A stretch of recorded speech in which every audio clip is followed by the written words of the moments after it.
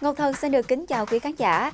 Thưa quý vị, bộ phim Triều Đại Tùy Đường bắt đầu khởi chiếu từ ngày 26 tháng 5 năm 2020 và xuyên suốt bộ phim sẽ là cuộc chiến khốc liệt tranh giành quyền lực tối thượng của ngai vàng, những âm mưu toan tính triệt hạ lẫn nhau ở chốn hậu cung và cả những khoảnh khắc ngọt ngào lãng mạn trong tình yêu.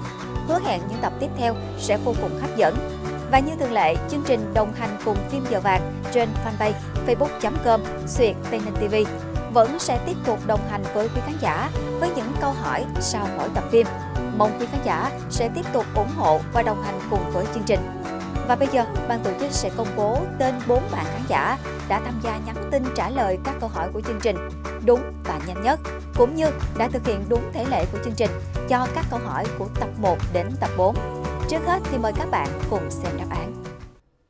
Trình Giáo Kim, người buôn muối lậu, Hôn kỳ định vào mùng 8 tháng 8 ít ra phải tịnh dưỡng trăm ngày. Thì ra là tên bệnh hoạn trong khách điếm của mình Trao thưởng 500 lượng. Xin được chúc mừng cho những khán giả sử dụng Facebook sau đây đã nhận được giải thưởng của chương trình là một chiếc thẻ cao trị giá là 100.000 đồng. 1. Quý Ròm trả lời đúng và nhanh nhất cho câu hỏi tập 1. 2. Hương Lê trả lời đúng và nhanh nhất cho câu hỏi tập 2. 3.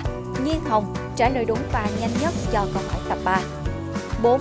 An Bùi Văn trả lời đúng và nhanh nhất cho câu hỏi tập 4. Ban tổ chức sẽ liên lạc trực tiếp và trao giải trong thời gian sớm nhất sau khi nhận đủ được thông tin từ các khán giả trúng thưởng. Đài Phát thanh và Truyền hình Tây Ninh với mong muốn đem lại cho quý khán giả những phút giây thư giãn tuyệt vời với những bộ phim hay. Hy vọng là các bạn sẽ luôn ủng hộ và đồng hành cùng với chúng tôi.